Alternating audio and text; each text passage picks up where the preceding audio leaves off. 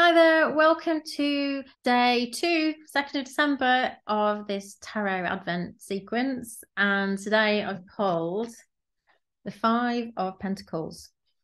So, the message in the Five of Pentacles, where you see these two rather ragged characters outside of what might be a church, is, and the, the assumption is that on the inside of the church are the community it's warm there's a sense of connection and togetherness and these two are out in the cold they're separate from uh, pentacles are about material things so it could be about money it could be about um, your body it could be about the things in your material world.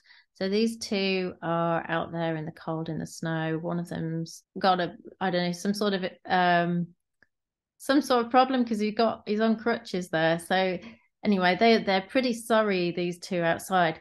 So the message though is if you're feeling like you're somehow separate from something that you're desiring, whether that's connection or money or something in your physical world that you perceive would make you feel better by having it. The message here is to remember that you're you're not separate from anything. At the quantum level at, at, the level of spirit you're not separate from anything that exists in the creation. It's our humanness that makes us perceive ourselves as separate from others from from the things that we desire.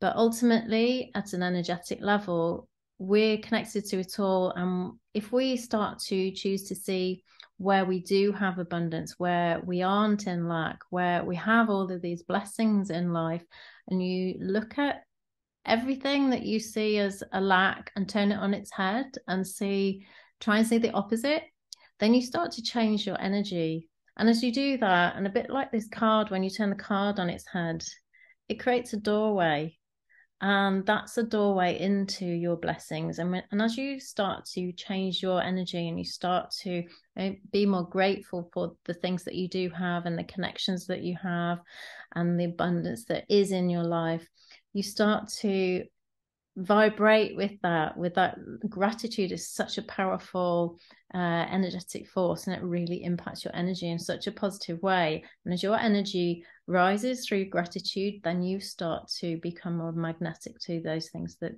you really do want to experience that the universe has lined up for you. But whilst your whilst your thinking has been like this where you're going this is who I am, this is what I have. I there is lack, scarcity, I can't have it, it's not here.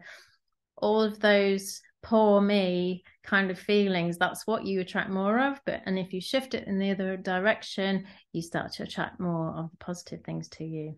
So that's my guidance for you today.